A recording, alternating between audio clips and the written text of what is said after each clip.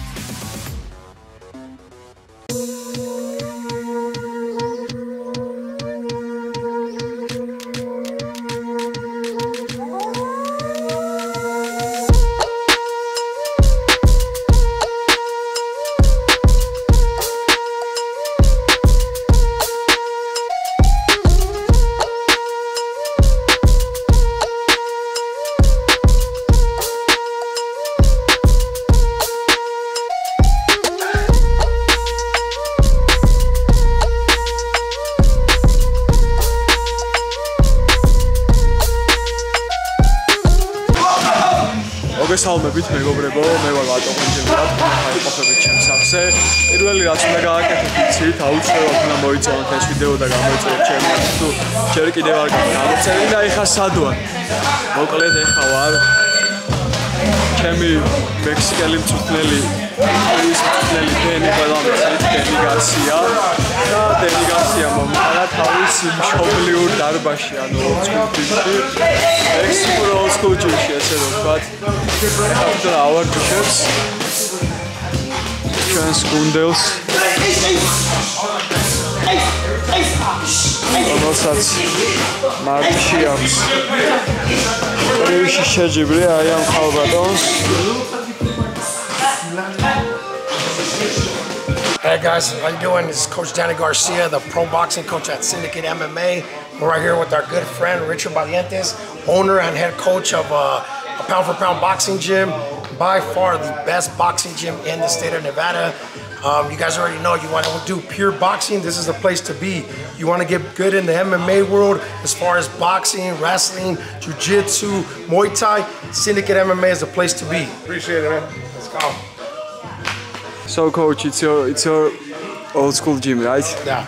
So you was promising me to take here so long. and finally I'm here and maybe you give some three advice for amateur fighters. It does not matter it's MMA fighter or boxing fighter. What they need to, what should they need to know when they are starting these sports? Well, number one is that it's not a game. You know what I mean? This is not, you can't play in any fighting sport, whether it's boxing, MMA, um, if it's a contact sport as far as uh, fighting, then they got to take it 100% serious. You know, they got to respect their sport. Uh, don't expect your sport to respect you if you're not respecting it. You know, uh, it's very dangerous. Um, discipline is the number one key. If you don't have discipline and self-belief, then you're not going to accomplish nothing. You know, sometimes there happens a lot of injuries uh, when we are sparring, a lot of some this stuff. And uh, what you would advise uh, about this? We need to push each other like 100% or we need to take care about our sparring partners and Uh, look, there, there's some uh, different things work for other fighters, right? Um, I don't believe as a coach for our fighters to be going 100%. You know, we're there to make each other better, not to hurt anybody. Because one bad injury could, uh, number one, take you out of the fight, and most important, number two, it could probably end your career, depending on how, how serious the injury is, right? So we want to work to make ourselves better, not to hurt each other.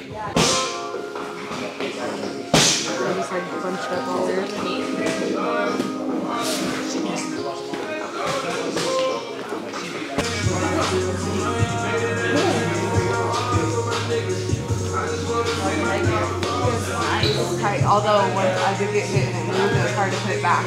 Yeah.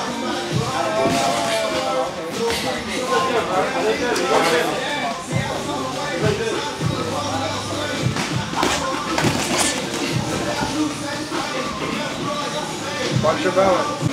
Change.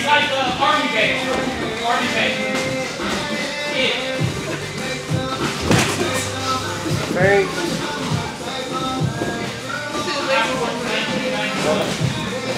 Jab, jab, jab. Go! You can't be on that left side and then, and then. Don't stay there though, step around. Remember, don't, don't look up, up the middle, that's like that. Back to touch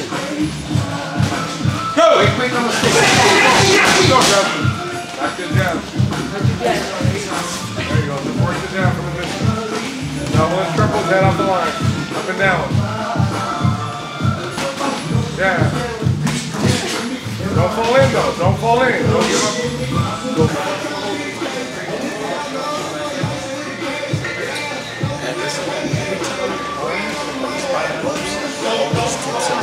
So once you look at it, throw underneath. Aim for the pit of the stomach or the chest area. And then turn it back, alright? Closer. So coach, also you are watching how Merab is training right now. So he's getting ready for Henry Cejudo, you Yeah. know, and you are in Team Syndicate and you know everything about his preparation and uh, you know, Marab's a beast, man. You know, the, the the machine for real. Like we have to slow him down. You know what I'm saying? So sometimes, hey, Marab, calm down a little bit. But uh, it's been a pleasure, pleasure to work with him. He's very coachable. Uh, he listens when when uh, he knows that the coaching staff is telling him to do something as far as maybe some mistakes or whatever. Right away, he picks it up. You know, you don't have to keep repeating the same thing over and over to him. And that's one of the best things. And he's humble. Uh, humble athletes are gonna always be the best athletes, and they're gonna ones that the ones that have the uh, best success rate in the sense of they're listening to your corners because they gotta trust their corners, you know. But it's a pleasure uh, working for Marab, uh, watching him, um, the way he grinds, man. Uh, he's an example to a lot of the guys that are at the gym, uh, being the fact that he's the number one contender. Um, he outworks damn near everybody in there, you know what I mean? But again, everybody's a hard worker. He pushes and he sets an example for a lot of the guys behind him coming up. Thank you, coach. Appreciate, appreciate. so I'm watching you two days punching. Forgot. Now I feel better. I feel better thinking. Okay, so again, more than two days, I'm looking how you punching, kicking, pushing everything and everyone. And I have just one question: Who are you and what's your name? Finally. So my name's Jasmine Montoya. Uh, I'm coming from Denver. I just moved out to Vegas. Uh, I'm actually coming from Syndicate MMA. Uh, we got an opportunity to box, so we're diving deep. I got with uh, Coach Danny Garcia. He's also the boxing coach over at the MMA gym. Um, and we're just diving deep into boxing and getting ready for hopefully a fight February 24th. Um, it's not locked in yet, but either way, we're gonna have something lined up right after. So, yeah.